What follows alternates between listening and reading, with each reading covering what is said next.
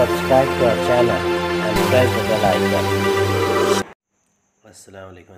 तालिबात।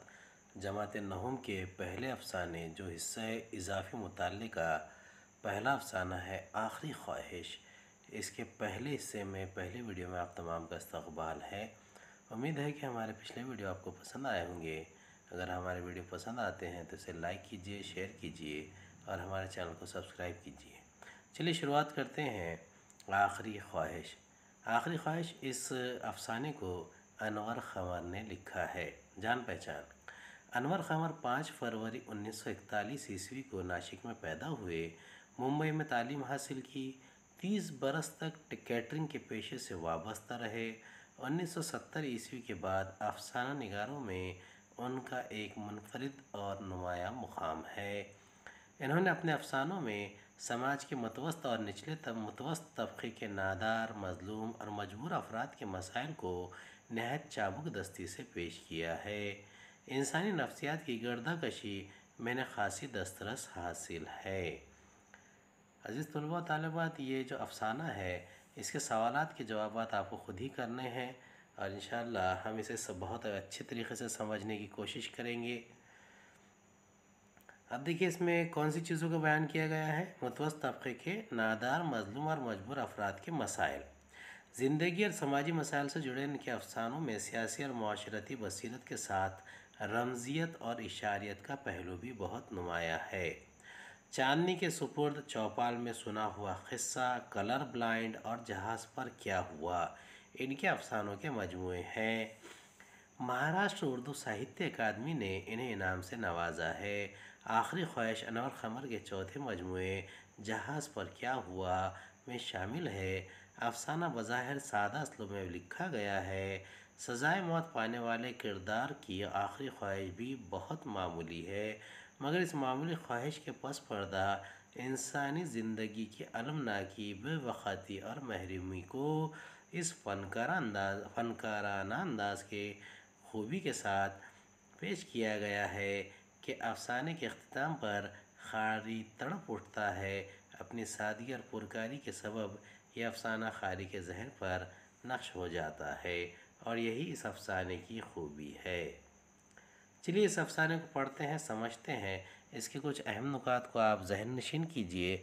इन मैं आपको बीच बीच में सवाल भी बताता जाऊँगा और आखिर में हम इसके आखिरी वीडियो में सवालत की एक तरतीब के साथ एक वीडियो भी हम बनाएँगे। हुजूर, आखिरी ख्वाहिश तो ये है कि मुझे आप फांसी पर लटकाने से पहले बहुत सा दाल भात खाने को दे दें। हुजूर हुजूर ये एक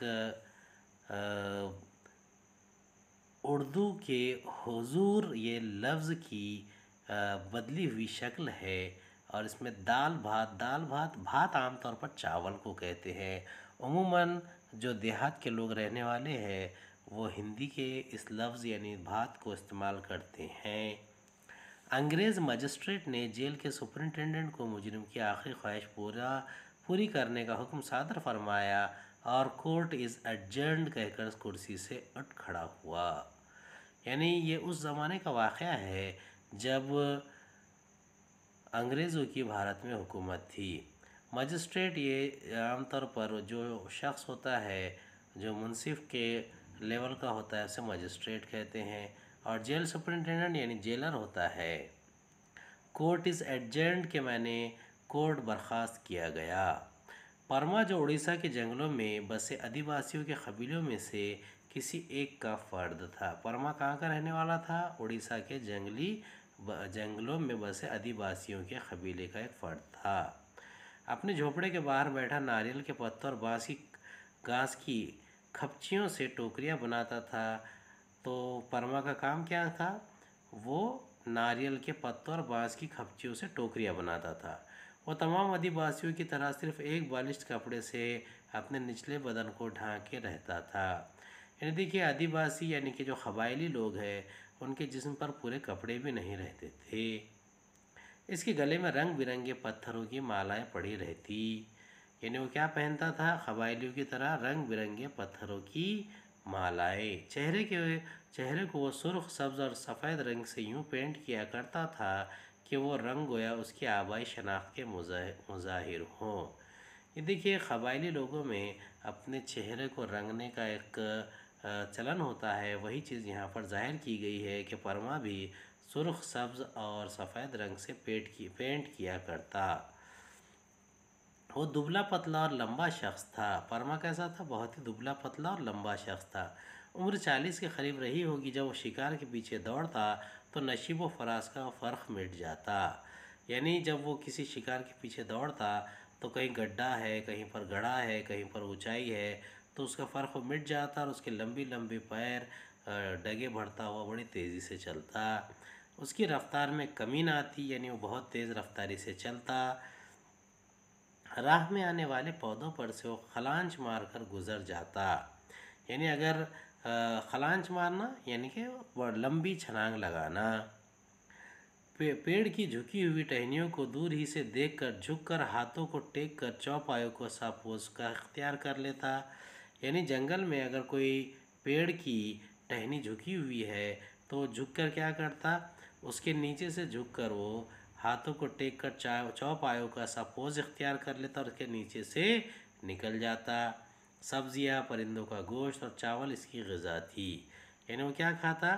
जंगल में रहता था, लेकिन फिर भी सब्ज़ियाँ खाता, परिंदों का गोश्त खाता और चावल। लेकिन फ़ाक़े भी करना पड़ते। यानी देखिए, गुर्बत शुरू से ही भारत में आम है और चूँकि आदिवासी लोगों लोगों को बहुत ही ज़्यादा फ़ाक़े करने पड़ते हैं तो परमा भी फ़ाक़े किया करता।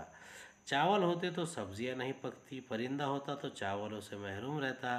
कभी कभार ही उसे पेट भर खाना नसीब होता। ये जंगल की ज़िंदगी कितनी दिक्कत वाली है, देखिए इससे समझ में आता है। जंगलों में जड़ी बूटियाँ कसरत से हुआ करती, ये उनको भून बाँध कर खा लिया करता था।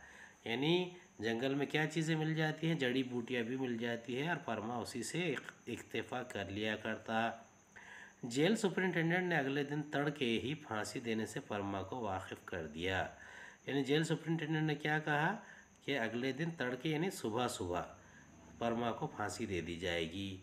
परमा ने कोई जवाब नहीं दिया। सुपरिटेंडेंट अब्दुल रज़ाक खान दराज खत चौड़ा चकला शख्स था, जिसकी घनी और पेंचदार मूछे और गोल बादामी रंग के शीशों की ऐनक उसे ख़तरनाक हद तक बार बनाए हुए थी। उसके ऑफ़िस में सीलन, पुराने कागज़ों और फाइलों की बू फैली हुई थी। उसने शीशम का स्याह गोल डंडा हाथों में मांझे की फिरकी की तरह घुमाते हुए पूछा, तुझे खाना कब दिया जाए? फांसी से पहले। अब देखिए, जो यहाँ पर हुलिया बयान किया गया है, जेल सुपरिटेंडेंट का, जिसका नाम अब्दुल रज़ा ख़ान है कैसा है वो? दराज ख़द है, चौड़ा चकला शख्स का है और उसकी घनी और पेचदार मूछें हैं, गोल बादामी रंग के शीशों की ऐनक है और उसका ऑफ़िस कैसा है? जिसमें सीलन है, पुराने कागज़ों और फाइलों की बू फैली हुई है। उसने पूछा परमा से कि तुझे खाना कब चाहिए? उसने कहा कि फांसी से पहले। रात को बावर्ची खाना बंद होता है, शाम को पका कर रखा हुआ खा लेगा। यानी उससे पूछा गया कि रात को तो बावर्ची खाना बंद हो जाता है। शाम को जो पका कर रखा हुआ है, क्या वो सुबह खा लेगा? खाने को तो मैं कई दिन का बासी खा लूँगा, मगर चूँकि ये मेरे आखिरी भोजन है, होगा इसलिए गर्मा गर्म खाने को जी चाहता है, वरना कोई बात नहीं, ठीक है कितना खाएगा। अब देखिए, ये भी अजीब ख्वाहिश है कि वो भर पेट खाना खाना चाहता है, और जेल सुप्रीटेंडेंट ने पूछा उसे कि कब खाएगा तो कहा कि फांसी होने से पहले खाएगा। अब फांसी के लिए उसे गर्मा गर्म खाना चाहिए, बासी नहीं, क्योंकि हमेशा बासी खाता था। ठीक है, कितना खाएगा? ये कहकर अब्दुल रज़ा ख़ान ने अपने चमड़े के जूतों समेत पैर ऊँचे टेबल पर रख दिए। यानी परमा से दोबारा पूछा गया कि वो खाना कितना खाएगा? तो उसने फरमा कुर्सी पर टेबल की दूसरी तरफ़ उखड़ू बैठा हुआ था। फरमा ने दोनों हाथ फैलाकर चावल की मकदार बताई, इतना और दाल फरमा ने बाल्टी की तरफ़ ज़र्फ हाथ से इशारा किया, फिर उसके तल्ले से ऊपर तक भरे रहने का इशारा किया। यानी कि चावल और दाल की जो मकदार है वो परमा ने बता दी। अब्दुल रज़ा ख़ान ने चश्मे की बादामी कांच के ऊपर से उसे गहरी नज़र से देखा। यानी जो जेलर था उसे घूर कर देख रहा था। गोया वो इतनी बड़ी मकदार में दाल भात तलब करने का असल सबब जानना चाहता हो, इतना खा लेगा तो नहीं। यानी जेल सुपरिटेंडेंट को उसमें थोड़ा सा शक था, शुबा था कि शायद वो इतना खा सके।